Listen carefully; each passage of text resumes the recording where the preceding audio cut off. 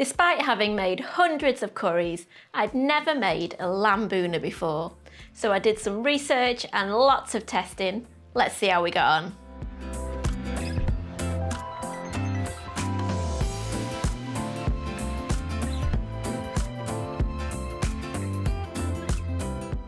Hi, I'm Nikki. Welcome back to our kitchen, where we show you how to make delicious, family-friendly recipes. Now you guys know we love a good curry, and it just so happens that one of our most reader requested recipes is a curry. So this is my version of lamb bhuna, which also happens to be Chris's dad's favourite curry. So let's get cooking. We're going to start by heating two tablespoons of ghee over a medium heat in a large pan.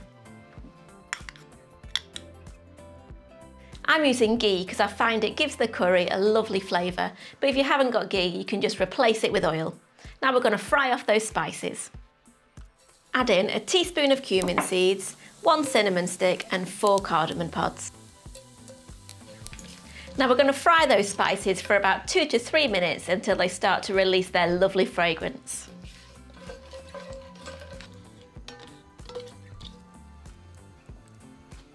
Add in a large diced onion along with three cloves of minced garlic and two teaspoons of minced ginger. Then fry, stirring often for five minutes until the onion's softened and lightly browned.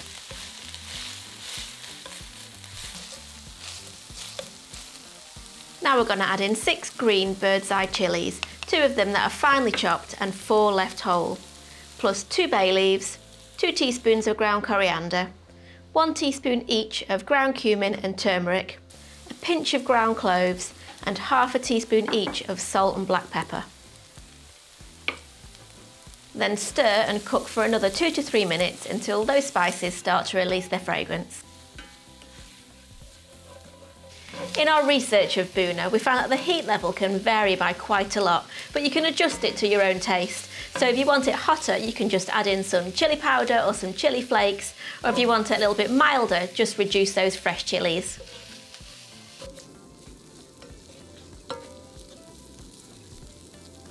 Now we're going to add in the lamb. I've got about a kilo, which is about 2.2 pounds of lamb shoulder steaks here that have been chopped into nice meaty chunks. Now you can use leg, shoulder or neck for this curry. They all work really well. Add the lamb to the pan and stir to coat the lamb in those amazing spices. We're going to cook the lamb for about five minutes, stirring often until it's sealed.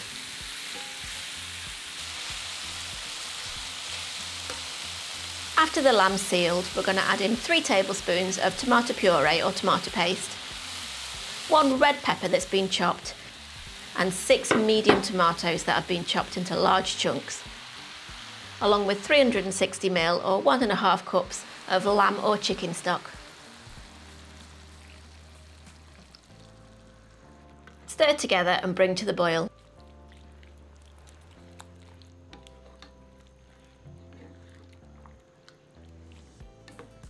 Cover the pan and turn down the heat so the sauce is simmering gently.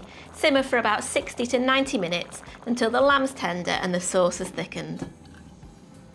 So you can cook it on the hob just like this, but you'll have to check it and stir it a few times during cooking to make sure it doesn't catch on the bottom. What I actually prefer to do is to cook it in the oven at about 170C or 325F, again for about 60 to 90 minutes until that lamb is lovely and tender.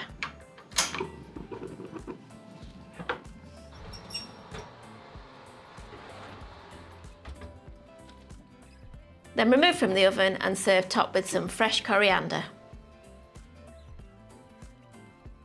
This lamb bhuna is such a wonderful curry. Lovely, rich flavours, and that lamb is tender and fall apart. I love to serve it with some boiled rice and some homemade chapati. The recipe for those is coming soon, so make sure you're subscribed. See you next time.